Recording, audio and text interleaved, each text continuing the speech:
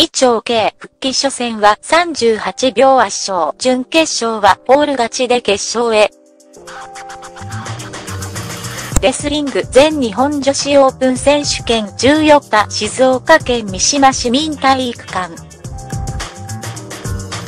五輪4連覇の伊調薫34イコールアルソックイコールが女子57キロ級で16年リオデジャネイロ五輪以来約2年2ヶ月ぶりに実戦に復帰した。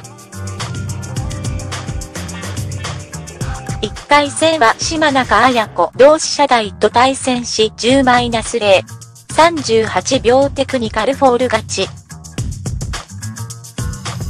開始10秒で片足タックルからテイクダウンを奪い先制。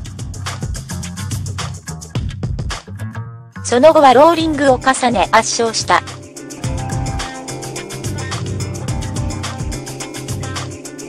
準決勝は沢陽最後、四角屋形台に残り1分24秒エビ固めでホール勝ち。